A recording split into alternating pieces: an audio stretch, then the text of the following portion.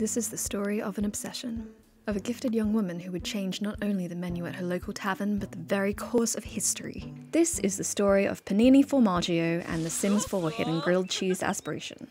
Panini started out life at a dairy farm in Henford on Bagley. It was an idyllic upbringing. Though they didn't always have a lot of money, her parents worked hard selling milk to the locals every Sunday and always making sure there was enough cheese to eat. Little Panini had a charmed life, though she was yet to discover just how very charmed it was. Of all the cows on the farm, one was her favourite. Pat and Panini were best friends. They were inseparable. Just look how fucking cute they are. Yes, life was pretty sweet, but one day Panini had to grow up.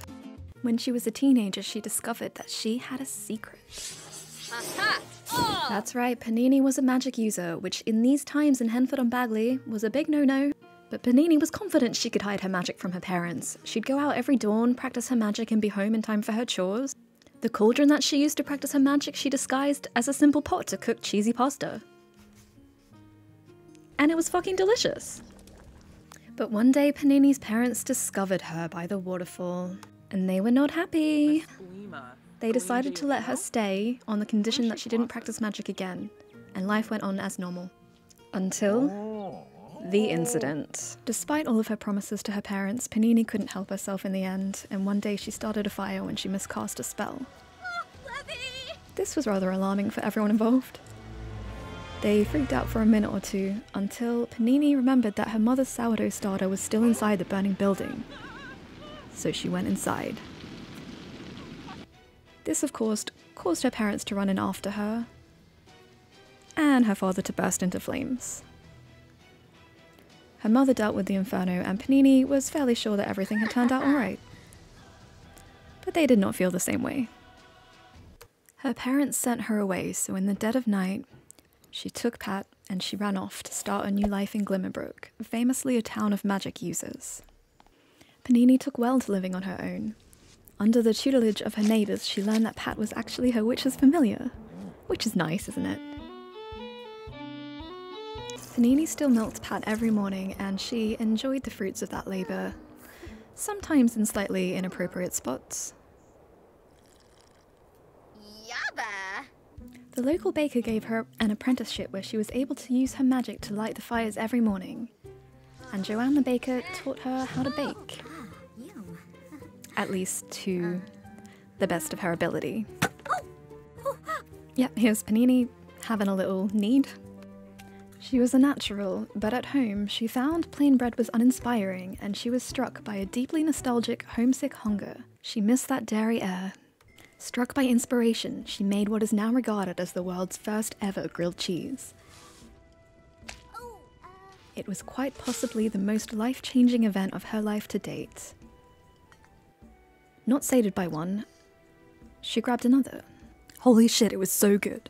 She sat down to eat a third and marvelled at the aroma.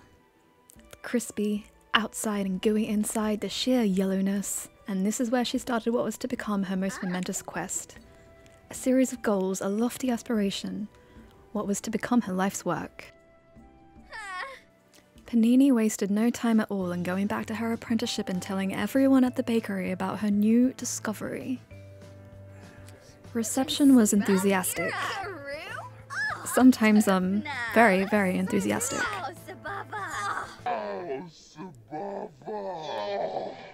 Every night she would come home and eat another grilled cheese, never growing tired of the meal that seemed to manifest itself on her frying pan straight from the heavens themselves. Look at her flip. Look, She's an expert now. As well as sticking to her strictly dairy based diet, Panini made friends with the locals. These were magic users like herself who helped her hone her skills. They also helped her meet her goals that she had set for herself, um, much sooner than she had ever expected. But that was not going to be the end of her quest. Ah, Yabosa. No, no, no, Panini Formaggio had big dreams. She was a young adult now, which meant she was old enough to drink in taverns, a pastime she rather enjoyed. This is John, the local bartender. Uh, she loved it there despite the rat problem. Anyone who sat still for more than a minute would hear all about Panini's new invention. She told the witches, she told the queen, And she told the nobility in the neighbouring lands all about grilled cheese, and soon enough she was finished the second milestone in her journey. Time passed and the seasons changed. Panini was a full grown adult now, in the mid years of her life, and she decided it was time to mend bridges with her family. She remembered an odd letter she had received from her mother about the possibility of them conceiving a new child. So she packed up her things and went to visit the farm on which she had spent her younger years. There she discovered that her brother was a little shit. And her mother had taken up painting as a new hobby. She was fascinated by the inventiveness of the subject matter, so she decided to share her invention with her family as well. Isn't it nice to see someone other than Panini eating grilled cheese for a change? Let's just appreciate that for a second. Mm-mm. But back in Glimmerbrook that night, Panini was woken from her dreams by a strange light. She went outside to investigate, and that's where she discovered something amazing.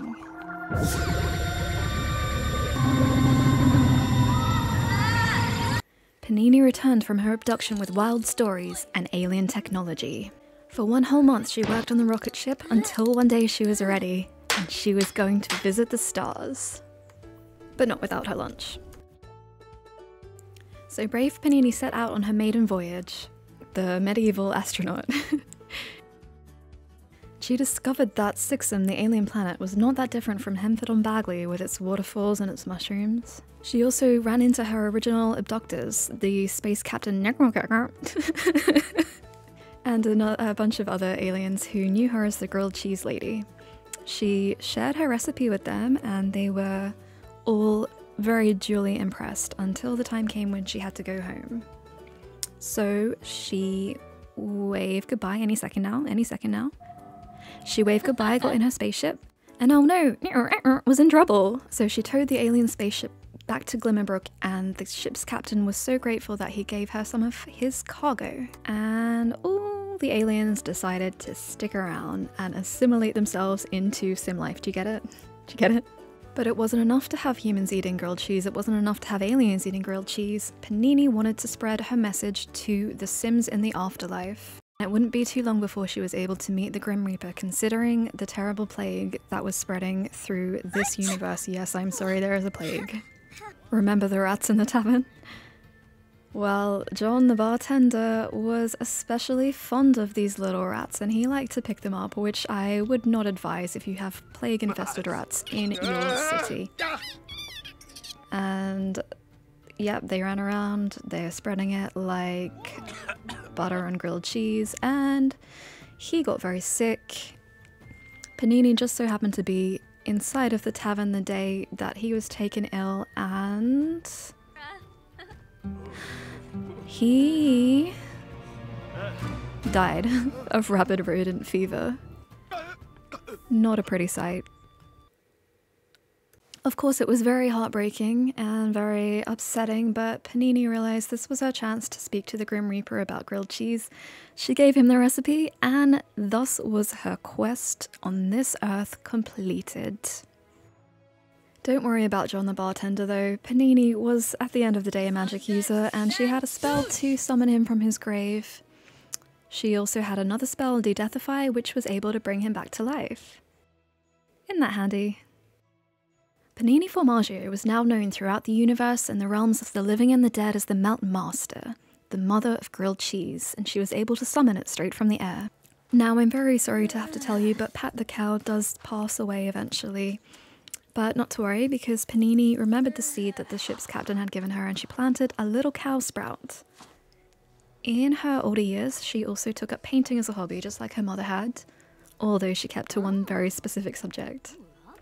And one day that little cow sprout turned into a big cow plant called Lil Patsy.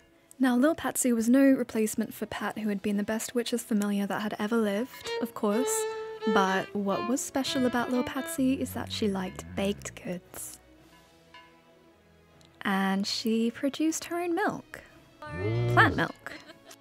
In her later years, Panini Formaggio bought the local plague-ridden tavern and turned it into her own restaurant after cleaning it up. She never married, but she did retain her one true love for the rest of her life. Panini hired John to be one of the wait staff and one of the aliens to be her cook. Visitors came from far and wide to sample Panini's menu.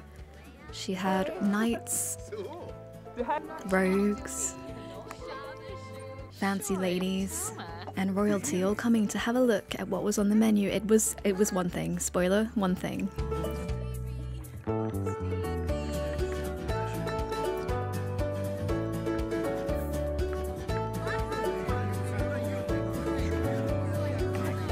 Panini Formaggio lived happily ever after. The end. That was a bit weird, wasn't it? Man, I like I just recorded a whole thing and it was so good, and if I was just like mute the whole time, it's so annoying. I I can't re- I don't really know how to explain why I made this video other than um I remember that The Sims 4 had a hidden aspiration that you get if you eat three grilled cheeses in a row. It's in the base game, so you don't need any expansion pack. You don't need any of the kits or anything. Um, if you're curious, if you're curious about how Panini's story ended, here is a clip from Chesky Sorch's Twitch channel. Oh, Panini's drowning. What? Panini, what are you doing? Panini, no, no. Yeah. Before I go, um, I was thinking it would be kind of cool to have 200 subscribers for bringing in 2022. I'm about 10 away, so if you're not subscribed already, that would be very nice of you if you would like to, but no pressure. Uh, take care of yourselves. I hope that you are all mentally well and looking after each other, and I will see you next time. I am streaming on Twitch, but very sporadically. But if you would like to follow me there, my username is Hell of Ditties. I'll see you next time. Bye.